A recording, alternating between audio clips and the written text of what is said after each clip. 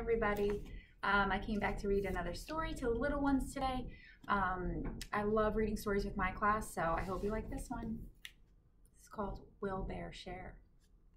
Mm, will you share, right? Let's see. Bear has a lot to give.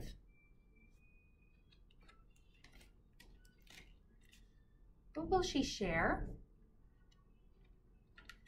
Will Bear share her berries? Yes.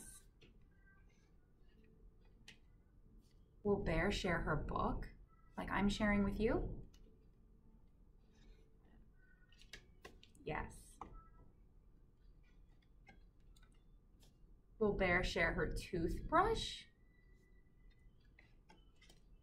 No, toothbrushes are not for sharing. Ooh. Will Bear share her favorite toy? Toys are okay to share, right? Yes, she will. Will Bear share her umbrella? Oh, yes. Will Bear share her ice cream? No. Uh-oh, it fell down.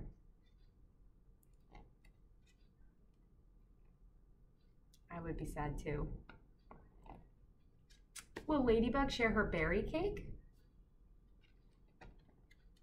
Yes. What do you share? So maybe you guys should share with your family what you share with at home. Okay, I want to share one thing with you though, okay? A big hug. Ooh. All right, we miss you guys so much and hope to see you soon.